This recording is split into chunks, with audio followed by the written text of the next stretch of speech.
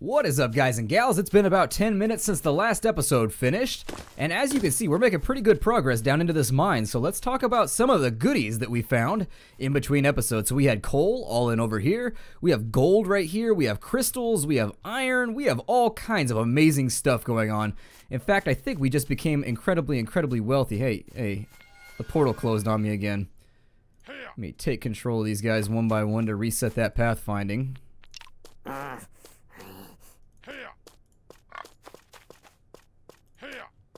Kind of a little bit of a exploit to finish this problem, but they need to mine all this stuff out and bring it up along with them, so what can you do? Release him. There we go. So you definitely want to use portals. I can't express that enough as you play the game. You are going to find yourself being very, very frustrated if you can't get portals in place. I would use them extensively. I mean, if you have to mine this out right here without portals, good luck. That's going to be a giant, miserable experience. Let's kill that poltergeist. Alright, so that poltergeist is now out of the way. Our portal closed again, weirdly enough. Didn't it? Wait, what? They're walking through an invisible portal, so never mind. One of those little buggy bugs. But it's alright, we're an alpha. I, I'm not going to apologize for alpha bugs because that is what alpha is all about, bug squishing. Once we get all... What in the hell is that? Absolutely not. What? That thing doesn't look very friendly. I don't know if I want to fight it just yet without armor. I'm just gonna have these guys haul, I think. I've we've got more than enough gold. I think we've got enough iron to last us a little bit. Let's go ahead and take a look at our tech tree and figure out what are you doing. Cancel that order. Absolute no, you don't need to you don't need to trim the bush. What are you doing? Just leave it as it is, on natural. Alright, so looking at our craft tree here. What do we have going on? So we haven't placed a slime torch, which it's going to be all up on our case until we do that. We can't make food or cook of any kind until we do that. So let's have him place a slime torch. They are unfortunately very dim, so you're never actually going to use a slime torch. There it is. And so now that we're in the crafting tree a little bit further, we can make a pot. How much iron do I have? We have 15. I'll take it. Silver, pink crystals, gold. Alright, so there's our pot. And then the next thing is a campfire kitchen which is needed for grilled meat. Okay, I'm not super sold on that just yet. However, we do need planks, so let's do a couple planks, I guess. But not of the exercising fashion. Ooh, planks are awful. Are planks the ones? I can't remember which. I think planks are the ones where you're like in an up, like an upwards push-up position, and you just like stay there as long as you can. Your arms get all jiggly. and everybody laughs at you. All right, so we've got six of those there. So six planks should be perfectly fine. It's going to take them a while to craft it. That's right. This game does have craft time, so somebody's going to have to actually go down in here. Please tell me that portal didn't close. Well, there's one more thing waiting to be hauled.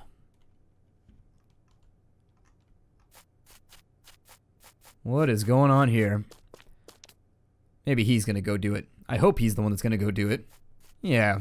And so what you'll see is when we go to craft stuff, he actually gets this little meter. And I'm really, really impressed by the presentation of this game. If I had to pick one thing that I think sells this game more than anything else, the presentation is just spot on. It reminds me kind of Rias or Reyes or however you say that game's name, where they may even be made with a similar engine. I don't know. They both look very, very similar to me though, and I like it. They both have amazing presentations, and I think that's something they have going for them. Now, what we need to do now is sheep hunt a little bit. Nobody got trapped down in here, right? and nobody's like climbing across a mountain to get at that stuff. Okay. Let's drop. Where is a sheep at? There he is. So we'll drop a portal right there. We're going to assign him to be killed. He is the sheepy victim of our slaughter. I do indeed. I can only assume that that's dwarfish for all kinds of sheep slaughter. And so as you can see, this isn't really going to go too successfully. Because the sheep can outrun you, you end up in weird situations where you can't bludgeon it to death. Like it should if the animation starts, it should probably count the hit to eliminate this problem. But we killed him either way. He should drop some wool for us now. Yeah, wool, and that looks like poo, and also some meat. So later on, we can actually cook ourselves up some real meals. Oh, the goblins are here. So basically, what's to happen now is the goblins are to wipe us out, and then we're to have to waste time respawning. That's almost exactly what's to happen.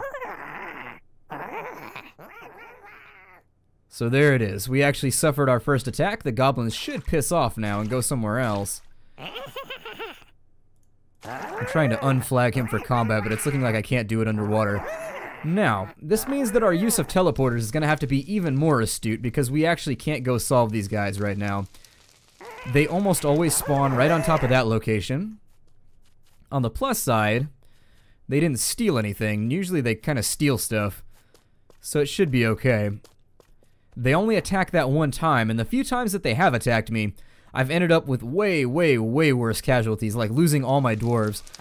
So that time they came in, they left, we should be good. They'll just patrol around their house now. I think that's their chieftain, or it's just a guy with some bongo drums on top of like a mushroom crab. It's it's crazy. It looks like something out of Starship Troopers. It looks like that thing in Starship Troopers that like the girl jumps up on its back, or the dude, I don't know who did it. They shoot a hole in its back and then they drop a grenade down into it. That's what it reminds me of. But anywho, let's chop down some trees because I can almost reasonably assure you that we're completely out of wood right now. And that's actually a good thing that they didn't wipe us out. I was really concerned about the breadth of the LP. I was really worried about getting wiped out by goblins and being like, alright, well let me do a ginormous cut right here while my dwarves respawn, and then we'll be back. Oh yeah, that should be more than enough wood for the... Ooh, a miner's book. Okay, I'll take that too. Now, that mine is not tapped out, but I don't feel like we're equipped well enough to grab anything else out of it for now. Let's see if maybe we can get our way towards some wooden armor. Let's see here. Wooden armor is going to be after the bucket and the door, maybe? Oh, the door. Okay, so let's do the door first. The door is going to take four wood. I'm sorry, five wood. I can count. I tell you guys that all the time, but every time I proved myself wrong, and apparently I can't count. So we're going to put a lock on that bastard. There it is right there. Our first little kind of bulkhead. I don't know. It's kind of a weird looking door. But in any case, we've now advanced. I think we have to place the door too, which is like the really kind of shitty part. Let's go to our crafting menu, and I'm going to drag the door down to there. And then we're just going to put the door in a random spot. Oh, it needs a back wall. We'll put it right there. Put her there. Let's also chop down all of this stuff. Anything that's like this roughage that's close to us. These trees are spiny looking, or maybe scaly looking. They look very, very unfriendly. Like, I wouldn't want to climb that tree just because they look sort of bristly. They got like a Joshua tree thing going on. As soon as that snail's dead, we'll take his ooze. Nobody knows where the ooze of the snail comes from. Some say it comes from the front end, some say it comes from the back end, but there's not a whole lot of biologists in dwarven culture. They're not they're more interested in killing the biology than actually learning from it. That is a lot of goblins, and they are mouthy too. They have weird growths on their necks. Should probably get those checked out. Get some antibiotics. Got like a sebaceous cyst thing going on. Gross. Shiver. I should probably also grab all of that. I don't see another. Oh, there's a sheep right there. I want him too. I want you, you sheepy bastard. Let's flag him and tag him, and hopefully his wool doesn't fall down into the ocean. That would be a major, major problem. I was kind of hoping you would pin him that way. Or her. I don't really know if that's a you or a... It's a male sheep called. I don't know. A ram? I thought a ram was just a goat, though. Okay, good. So the stuff didn't fall off. We should be able to gather that. It's going to give us a little bit of wool, and the wool is going to be important because we have to make ropes in order to make armor. Crafting tree. Random door, are you erected? He's like, I am erect. Very good, door. Now, there we go, wooden armor. So we gotta make a bucket before we can make a rope. So let's make a bucket really quickly. And that's what we needed the planks for. I remember now, and you get three buckets for three planks and a nail, so that's not a terrible exchange rate. Somehow they built a bucket with one nail, three buckets with one nail, which is pretty impressive. Now we want to make some ropes, which I think will be, yeah, in that trade goods menu. That's just going to take one wool, and we should have two of it. So there it is, 10 ropes. Now that we have the ropes, we can go into this armor right here. We can also make bows, and I've heard that bows are very, very good, but I'll make those in a little bit. I'm not going to focus on them right now. Let's focus on making ourselves some armor. Why there are leaves on the armor, I couldn't honestly tell you. No clue there. And we have five, so there we go, five armors. Now we need to go through to our dwarves and drop one of these onto each one of them. And one of the things I really like about this game is that the equipment actually shows on your dwarves. That kind of thing sells a game for me. I talked about that in towns. I've talked about that in just about every game that has equipment that I've ever played. That is a major selling factor for me on any game is does your equipment show up when you put it on a character? If the answer is yes, I'm usually happy as a clam. Got one club left. Everybody is clubbed? Okay.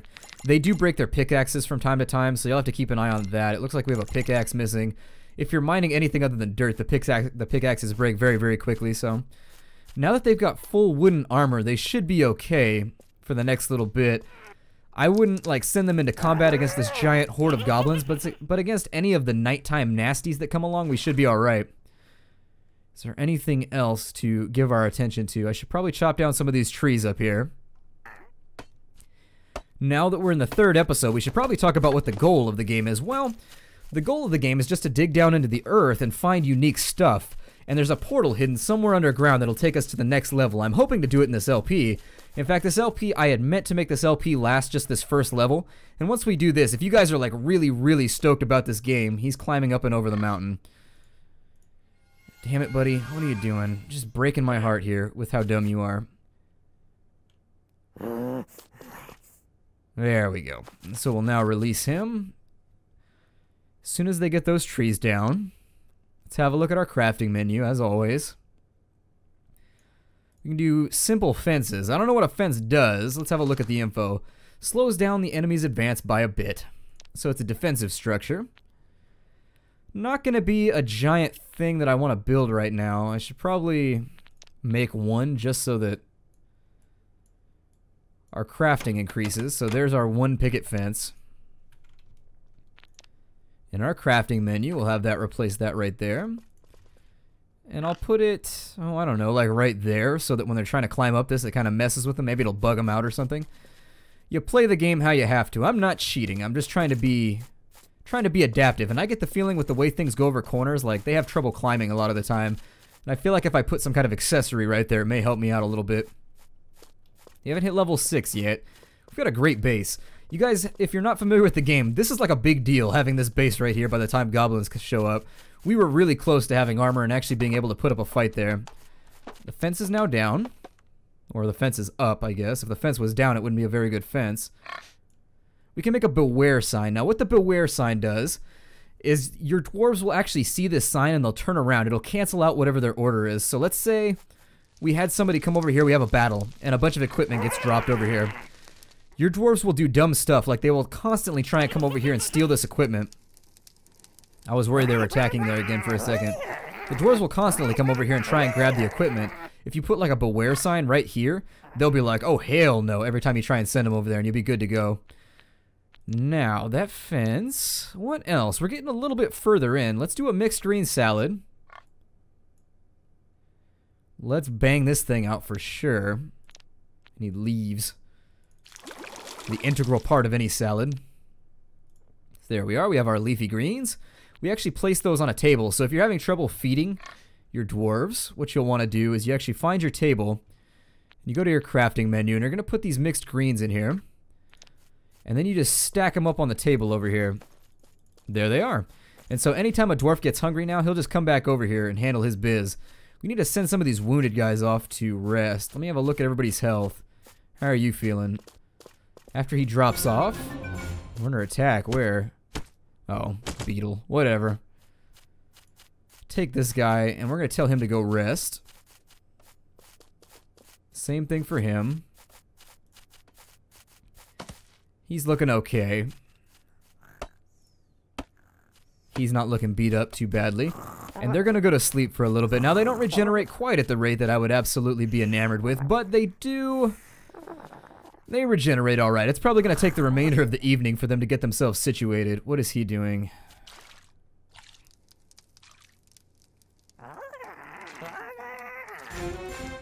I have no idea what this dwarf is doing right now. I should probably get on that. You can do it, I believe. I believe. Sometimes the climbing on the walls out of water is a little janky. But there are other options that I can kind of partake in.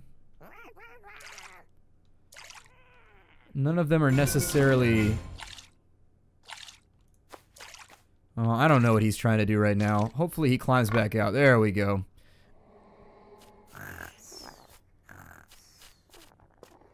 I don't know what we're under attack by. I didn't click it fast enough to figure it out, but at least he stopped. Let's go ahead and make a sign so that they don't go over here. Where is that sign at? There it is. So we need bones. Weak. I don't think we have any. Yeah, we're actually flat out of bones right now, so we can't actually make that. It's a little disappointing. Let's make some bows, actually. I've never used a bow, and I'd like to. So let's grab, I don't know. Make like four of them. That seems okay. And I know we have a couple people in here who are archers. So we have an archer right there. Let's give him a bow so that he's actually using his ability. This should increase as he does his deal.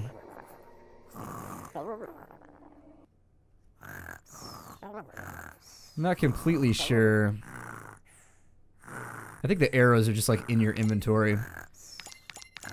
And so do we have any books that can teach people how to use bows? No. Well, I've heard good things about bows, so let's equip them. And once we equip the bows, we'll maybe play around... Actually, yeah, they seem to get the job done. We'll play around with the idea of maybe fighting some of these goblins or maybe hunting something.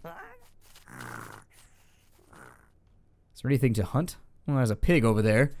A warthog from the looks of it. It's got its tail up in that weird warthoggy way. But Pumbaa may get his head kicked in, unfortunately, because meat is delicious. And we love meat very, very much here at the Nerd Castle. I may be being presumptuous, but I love, I absolutely love steaks. I can't give them up. I never could. Never will, never could. Let's do a pot right there. We need some coal. All right, campfire. Let's go ahead and go to our crafting menu. Get that down right there. And I don't know if I have to put this inside or outside.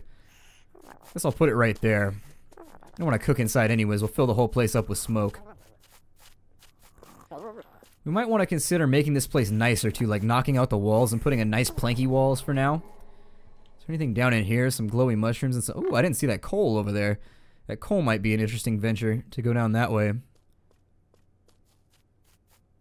This zombie over here is probably going to be our first look at.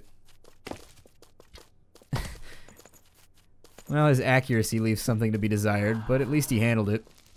Nope, zombie's to burn up underwater, which is an impressive feat. Very, very impressive feat. Must be made, he's a zombie made of sodium or something. No, don't break that down. Now that we have that, we can actually go to our crafting menu. Let's make a steak dinner, although it looks like it needs leaves. Yeah, it needs... They're to base the whole thing around garnish, I guess. Just a little weak. I don't think the garnish makes the steak, necessarily, but... I'm not a chef. What do I know about anything? Let's see. That's a good supply of leaves right there. Plus, it'll allow us to get at that coal. Let's dig down this way. And once we get all this stuff ironed out, it'll actually give us a big old supply of leaves. We'll cut this way. We'll get even more coal. I know we can make a guard tower somehow and assign people to it. I'm going to put it right here. Maybe put two or three dwarves in it so they can just fire out that way, but I don't know when we're going to have access to it. And once they grab all those, I know I'm saying once they a lot, but once they... I mean, we're always kind of waiting for things to happen in here since there is no speed up mode, but as you can see, they're getting more efficient at doing stuff since there are more of them. I don't know what that's going to do for our wood supply. Let's take a look. 37 wood, so we've still got a lot of wood. We're also picking up quite a bit of resin, so might be worth considering putting some torches in here just to light it up a tad. I may also expand the base out a little bit. That might actually be a unique idea. Like put a second hatch right here, dig this down and make use of what's already been ex uh, excavated and just kind of connect them. So there'd be like a little walkway right here with a ladder and this will make like a second location where they can bed down and relax.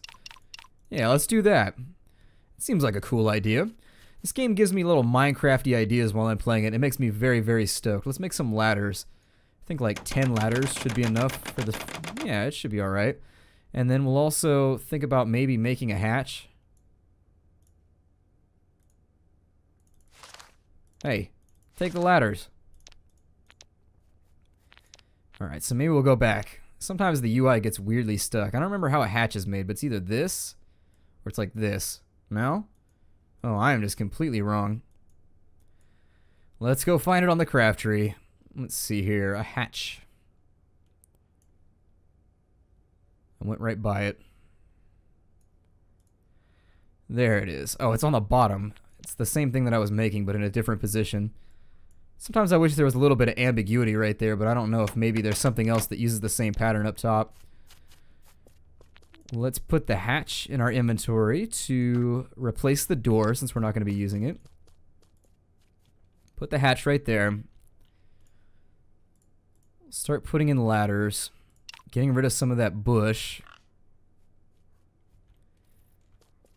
Yeah, I think this is going to work out pretty cool. This is going to be pretty badass, I think. And what this will do is this will actually be a big old room that runs all the way down to here. And once we've run the room out that way... Oh, I'm getting excited now. I'm getting that I'm getting that Towns buildy feeling where I know what I'm going to do. I do wish that Towns would like as it was when we first started Towns, I wish I could accelerate, but what are you gonna do? I think I'm gonna break off the episode right here because my hard drive is flashing at me, but my name is Splattercat. Thank you for joining me here in the Nerd Castle. I hope that in the next episode we'll actually have access to all this. I may do some of this building off camera. I don't know, scream, rant, and rave down below if you don't want me to. But then again, I'm not sure that this is going to air in time. So I will see you guys next time, and take care out there, everybody.